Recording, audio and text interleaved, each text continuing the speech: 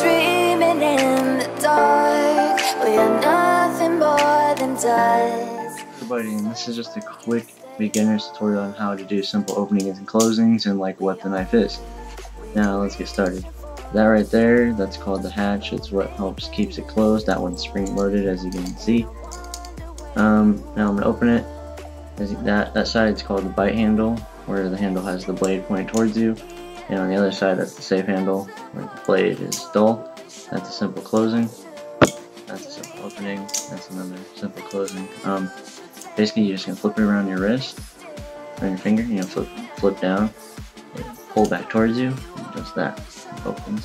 Do the same motion. and flip it towards your hand, flip down, flip up, and then it closes it. And it's open, close. Now I'm gonna show you my other favorite one, where you uh, flip it down like that.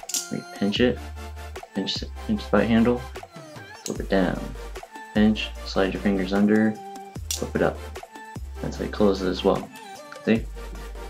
I'll let you guys just watch this real quick. And then now it's open. I do it again. Closed.